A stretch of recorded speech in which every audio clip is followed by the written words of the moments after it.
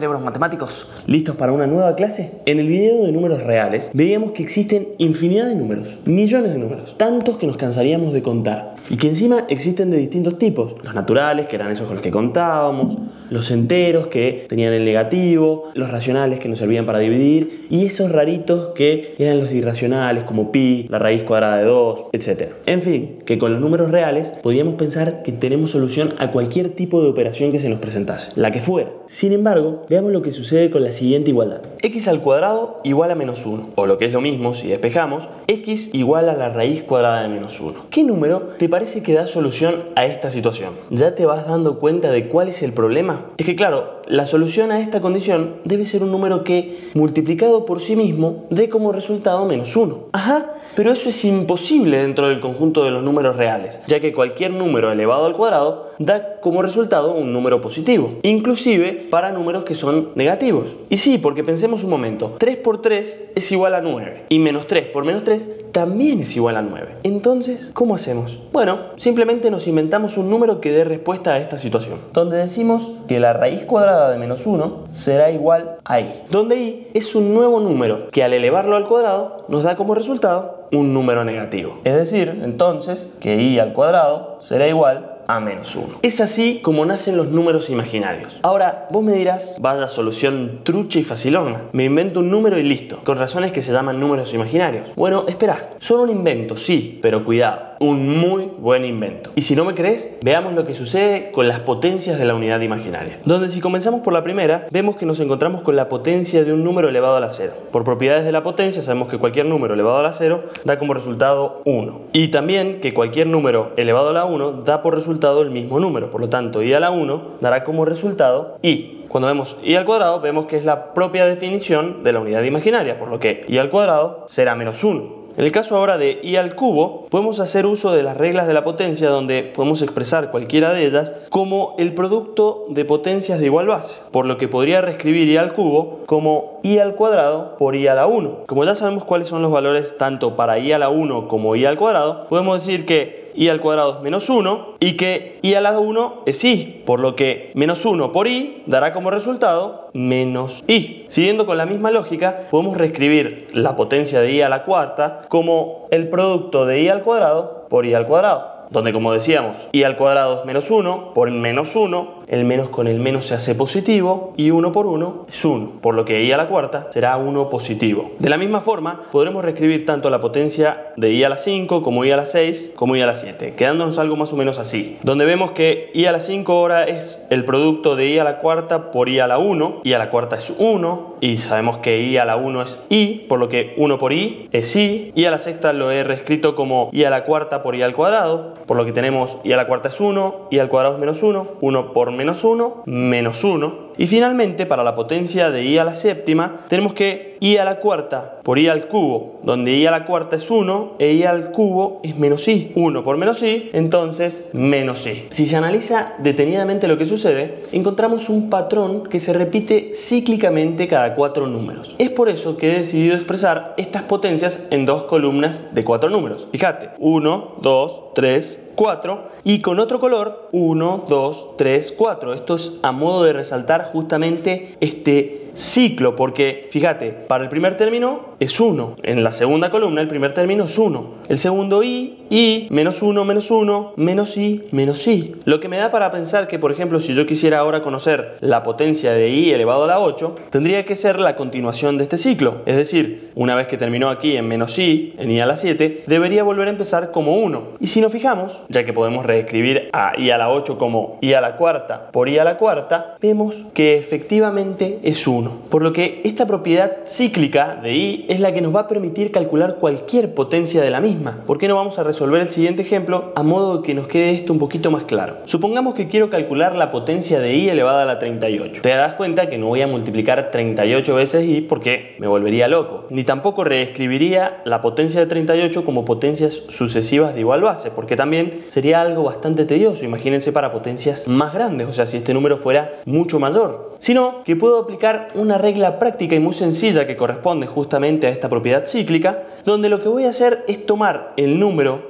al que está elevado i, es decir, voy a tomar a 38 y lo voy a dividir por 4. ¿Por qué por 4? Porque como sabemos es el periodo con el que vuelve a comenzar el ciclo. Entonces, ahora solo basta con realizar la división. 4 por 9 es 36. 36 al 38 tenemos un resto 2. Y este número, este 2, este resto es el que nos va a indicar cuál es la potencia de i equivalente con la que estamos resolviendo. Es decir, cuál es la potencia equivalente a i a la 38. Cuál de estas ya conocidas será el equivalente a esta potencia superior. Bueno, decimos entonces que i a la 38 es equivalente con i al cuadrado. Y como sabemos, i al cuadrado es menos 1. Esta regla sirve para cualquier potencia de i. Gracias a esto, con i, ahora no solo podremos resolver las raíces cuadradas de números negativos, sino que también podremos resolver cualquier raíz de base par de un número negativo. Pero espera, espera, que esto no es lo más importante de los números imaginarios sino que con ellos podemos crear una nueva familia de números, los números complejos. Y con estos ahora podremos resolver cualquier tipo de ecuación, la que sea, no importa ni el orden ni el tipo de coeficiente que se trate. Genial, ¿no? Pero aunque no lo creas, hay más. Y acá es cuando las matemáticas se vuelven matemágicas. Y es que los números complejos ya existen en la naturaleza. Con ellos podemos explicar cosas sencillas como son los vectores en física general o a cosas enormes como es el cosmos o la física cuántica. En ingeniería por ejemplo, se utilizan para las telecomunicaciones o para poder explicar el electromagnetismo, entre un montón de cosas más. Están en todas partes. Pero ¿cómo? ¿No es que eran un invento? Resulta que los números complejos son de esas maravillas de las mates. Lo que al principio parecía un invento artificial, en realidad de alguna manera siempre estuvo ahí, esperando que los descubrieran. Nos vemos en el próximo video para conocer más de estas maravillas de las mates. Chao.